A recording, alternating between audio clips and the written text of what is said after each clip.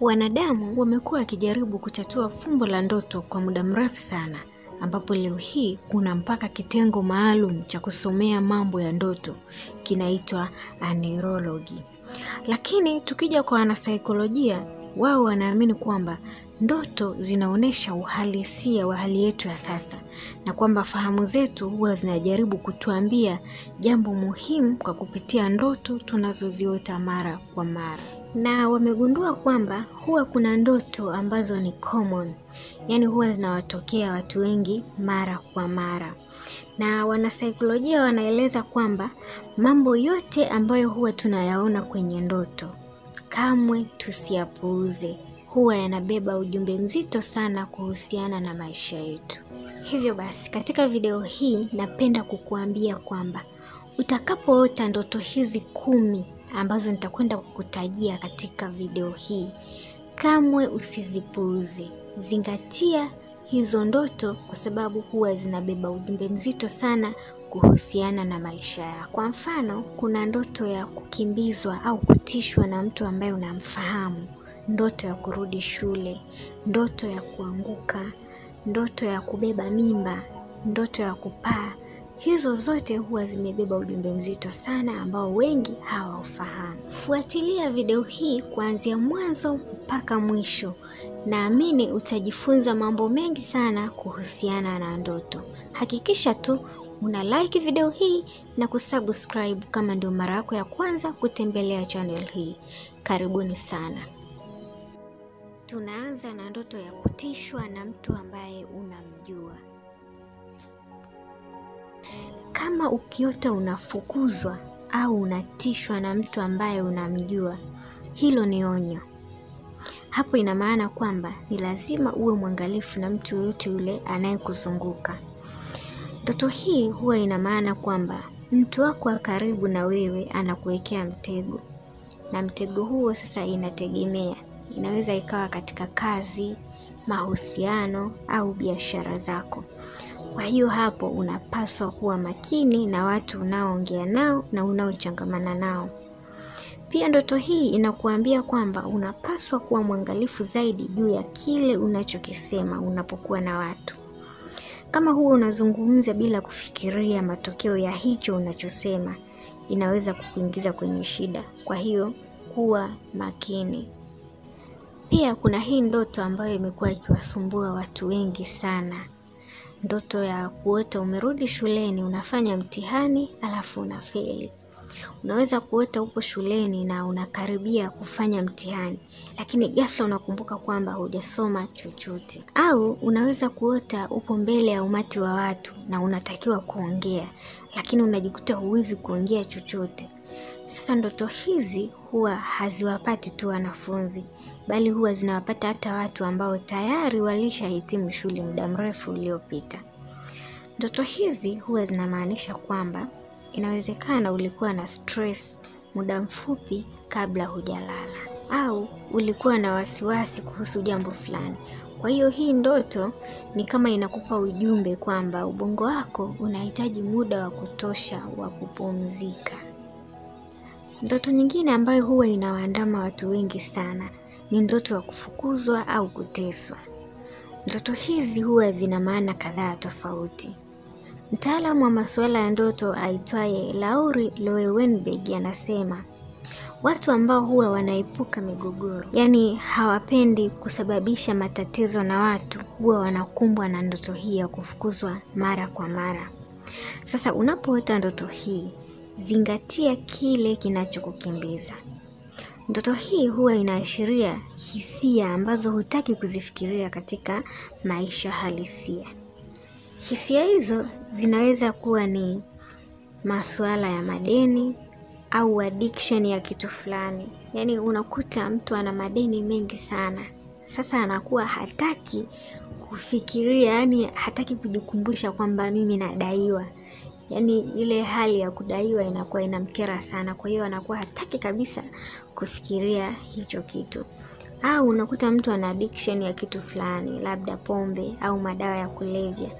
Anajua kabisa anatakiwa aache, lakini ubongo unakataa, yani hautaki kuachana na vitu kama hivyo.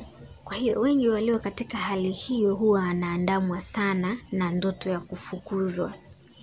Sasa hapa jiulize, je, unafukuzwa na mtu unayemfahamu au unafukuzwa na kitu ambacho unakijua? Kama ni mtu ambaye unamfahamu, fikiria, je, huyo mtu anahusika vipi katika maisha yako? Au je, anajihusisha na kitu gani kuhusiana na maisha yako?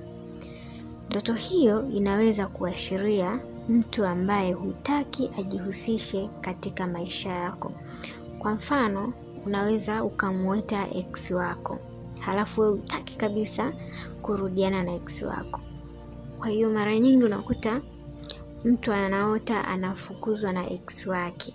Hiyo inaashiria kwamba mawazo yako hayataki kufungamana na huyo ex wako, ndio maana unaota anakufukuza na wewe unamkimbia. Ndoto nyingine ambayo imekuwa ikiwasumbua sana watu wengi, hususani wanawake, ni ndoto ya kupata ujauzito. Mwanasaikolojia anayeitwa David Bedrick anasema kwamba mimba huashiria kitu kipya kinachokuwa ndani yetu. Inawezekana ni mradi mpya, kujenga nyumba na kadhalika. Kwa hiyo unapoota ndoto hii, ni wakati mzuri wa kuweka lengo na kuonyesha ulimwengu jinsi unavyoweza kuzalisha kitu kipya. Ingawa ndoto hii katika tafsiri nyingine za kiimani imekuwa na tafsiri nyingi nyingi za kutisha na za kuogopesha, lakini kisaikolojia inamaanisha kitu kizuri. Inawezekana kuna jambo zuri sana utakwenda kulizalisha na likaleta faida kubwa sana katika maisha yako. Pia kuna hii ndoto ya kuanguka. Hii ndoto bwana, imekuwa kizungumkuti sana kwa watu wengi. Mtu anaanguka kutoka sehemu ya juu kwenda chini, alafu chini hafiki, yaani ni parefu sana. Tunapokuwa watu wazima, huwa tunaota zaidi ndoto za kuanguka kuliko kupaa. Kama ukikumbuka katika utoto wako, utaona kwamba ulikuwa unaota zaidi ndoto za kupaa kuliko kuanguka. Sasa kulingana na mwanasaikolojia Ian Wallace, ndoto ya kuanguka huwa inaashiria hofu ya kupoteza control au udhibiti katika maisha yetu.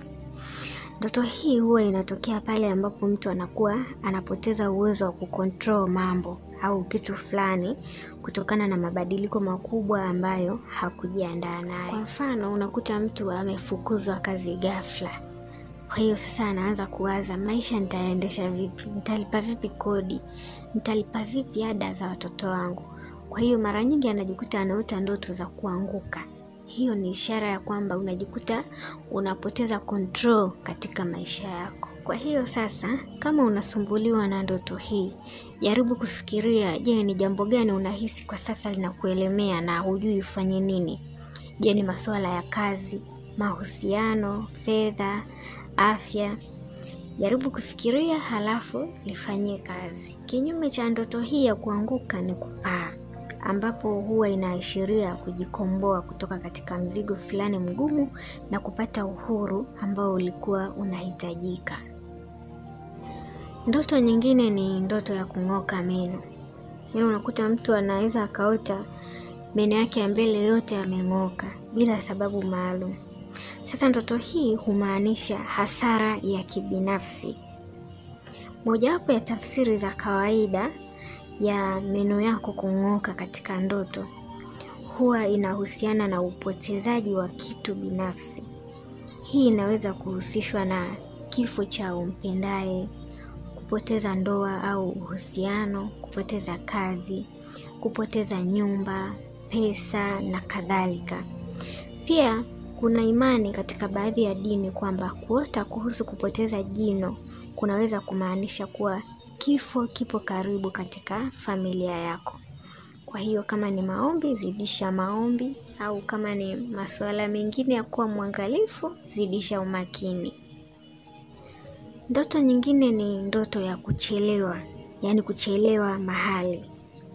Unaweza ukaota unakimbia baada ya gari kukuacha au baada ya kuchelewa kufika sehemu fulani alafu ukaachwa na gari, au unaweza kuota umechelewa kwenye kikao muhimu sana. Ndoto hii huwa inawatokea watu wengi. Kulingana na mtaalamu wa ndoto, Michael R. Olsen, ndoto hii huashiria hofu, na hofu hiyo huwa inahusiana na kukosa kitu muhimu sana katika mahusiano yako au katika malezi ya mtoto wako. Kwa mfano, unaweza ukawa upo katika mahusiano lakini huna hisia kabisa na huyo mtu ambaye upo katika mahusiano naye, au unaweza ukawa wewe ni singo mama au ni singo baba. Kwa hiyo unapata tabu sana katika kumlea mtoto wako. Kwa hiyo unahisi mtoto wako kuna vitu vya msingi anavikosa. Sasa watu walio katika hali hizo huwa wanaota sana hizi ndoto za kuchelewa. Ndoto nyingine ambayo huwa inawapata watu wengi sana ni kuota hujavaa nguo au umevaa nguo zisizofaa. Yaani unakuta mtu upo kwenye umati wa watu, unaota hivyo, upo kwenye umati wa watu halafu umeji, yaani umejistiri na kijitaulo kidogodogo halafu kwingine kote huna nguo. Au unaweza kuota upo na familia yako halafu unajikuta huna nguo kabisa. Ukiota ndoto hii ni muhimu kukumbuka, je, ulijisikiaje? Yaani ulipata hisia gani katika hali hiyo? Je, ulijisikia aibu au ulijisikia tu kawaida? Mwanasaikolojia Ian Wallace anasema kama umeota ndoto hii ya kuto kuvaa nguo au kuvaa nguo zisizofaa halafu ukawa unajisikia aibu sana, ndoto hiyo inamaanisha kwamba wewe unajihisi upo hatarini katika kazi yako mpya au katika mahusiano yako mapya, na unahisi kwamba wengine wanaweza wakagundua udhaifu wako. Lakini kama ikiwa kinyume chake, yaani umeota ndoto hiyo alafu ujisikii aibu kabisa, yaani unajisikia vizuri tu na unajivunia hiyo hali, hiyo ina maana tofauti. Inaashiria kwamba unahisi watu hawakutambui na hawakupongezi kwa yale mazuri unayoyafanya. Kwa hiyo unapenda wengine waone vipaji vyako na wavitambue. Ndoto nyingine ni kuota majanga kama vile mafuriko, moto, nyumba imebomoka na kadhalika. Ndoto hizi huwa zinaashiria shida za kibinafsi ambazo hauwezi kuzitatua. Kwa mfano, kama umefiwa na mtu ambaye unampenda, umeachika na mambo mengine kama hayo. Ndoto nyingine ni kuota kifaa au gari lenye hitilafu. Unaweza kuota unajaribu kutumia kifaa halafu ghafla kinavunjika. Kwa mfano, simu inakuwa inaacha kufanya kazi au unakuwa huwezi kumpigia mtu yoyote.